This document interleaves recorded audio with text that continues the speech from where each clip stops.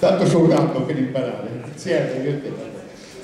Allora, prossimo brano è un brano musicale del gruppo musicale rock britannico Queen, Queen famosissimi.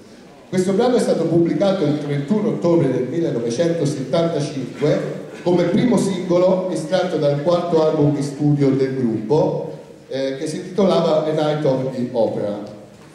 Ottenne subito un enorme successo, rimanendo al vertice della United Kingdom Single Chart, che detto parole povere serve l'hit parade eh, del Regno Unito, per ben nove settimane, e arrivando a vendere più di un milione di copie nel gennaio del 1976. A quel tempo un milione di copie erano davvero tante.